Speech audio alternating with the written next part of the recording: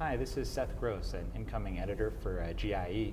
I have the privilege uh, to uh, speak with Professor Macrae from the Royal Melbourne Hospital today uh, on his uh, recent manuscript, Detect Detection and Staging of Esophageal Cancers within Barrett's Esophagus is Improved by Assessment in a Specialized Barrett's uh, Units. Professor Macrae, it's a real pleasure to have you here today. could you give me a little bit of background of why you chose to, to study this topic? Yes, um, thanks.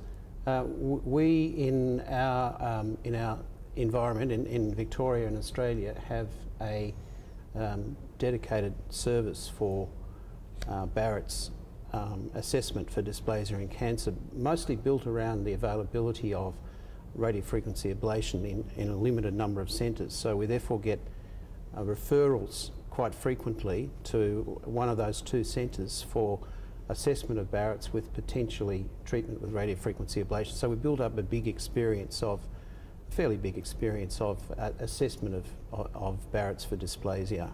So that's really the basis on which we have been able to evaluate the uh, the status of the patients at the point of referral versus after we've assessed them in our unit.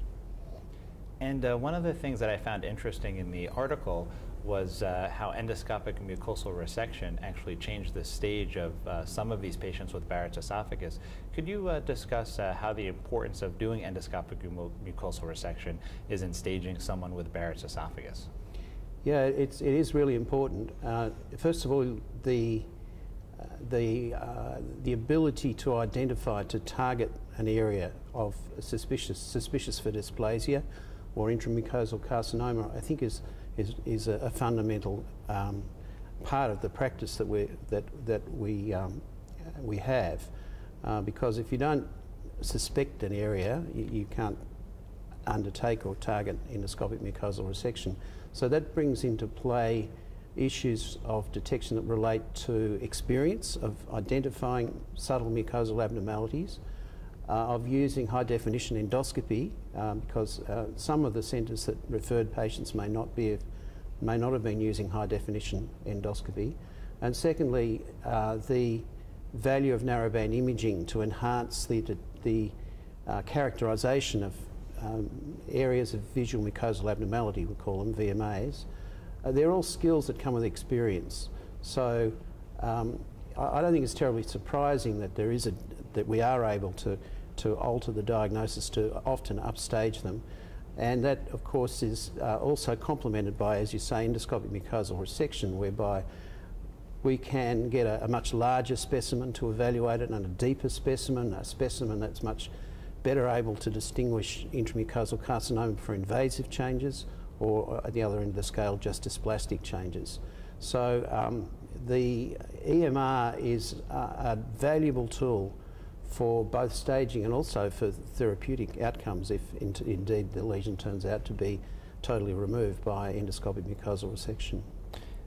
One of the things that uh, you mentioned, uh, you know, having the ability to have a, a, Barrett's unit, it's so important because you have that experience. Uh, but there are probably centers, you know, not just where you are, but around the world that don't have access to that. So, so what um, uh, things are important when someone is going to do an endoscopy uh, for someone with Barrett's esophagus? What are some key uh, points that you would encourage a clinician to try to Im implement in their practice today to improve uh, their staging of Barrett's esophagus? Well, it's all about observation, observation, observation. It's all about looking, looking, looking. It's about not rushing it.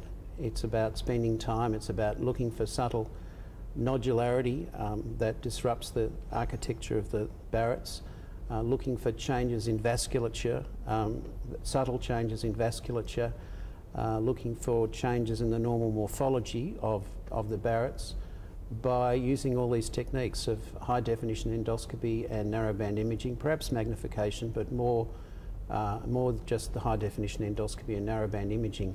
And I think the new, the new 190 series, for example, scopes also have this magnificent capacity to capture an image that's not blurred. So it selectively uh, captures images that aren't blurred. And that gives you a, a, a, you know, a chance to pause and look at a lesion much more carefully.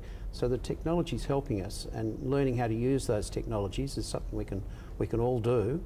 Uh, but it, it's, it's, it's mostly a matter of not rushing, looking. So, it seems that it's a combination of, uh, of advanced technology as well as inspection time. Inspection Uh, time and an educated eye, knowing what you're looking for in, in terms of those parameters that I and, laid out. And so in the, in the future, do you envision um, uh, you know, developing educational programs just like we have for colon cancer uh, screening to improve our polyp detection in the colon?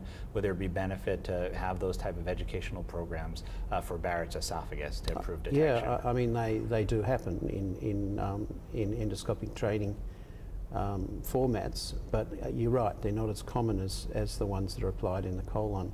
There, there are other image enhancing techniques that we've used, confocal endomicroscopy, which has a small uh, part to play as well, uh, but in our experience, it was actually the fundamental high definition endoscopy and narrowband imaging that was the main mainstay of advantage. But I agree, um, we probably will need to move towards um, greater penetration of training facilities for identification of lesions. Well, Professor Macrae, thank you very much for uh, spending time with us today to share your uh, manuscript. I encourage you to uh, visit the uh, GIE website to see the full uh, article. Thank you.